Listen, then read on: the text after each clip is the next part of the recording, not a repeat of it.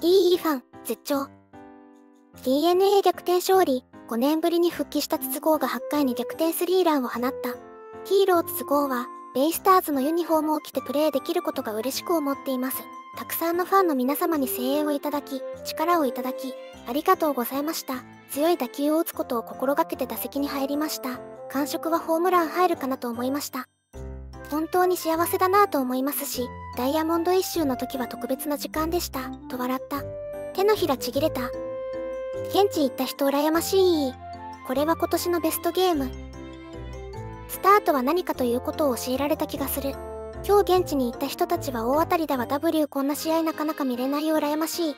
試合前のお前ら、筒香は筋トレ否定派だから長打は出ない。これ何だったの？これは全野球ファンが興奮するだろ。つうか今日この後眠ってる間に死んだら幸せだろうな。4番のポジション勝ち取れるわこりゃなんだよこの勝負強さ。ナイトリアンわかる。空お客さんも泣くわ。明日スポーツ紙全部買ってくるわ。スポニチは買わないけど。ツッツの2軍戦何だったんだろうな W あの内容で1軍早すぎだよってほとんどの人たちは思っていただろ。ホームラン打った後の仕草変わってなかったよね。泣けるわ。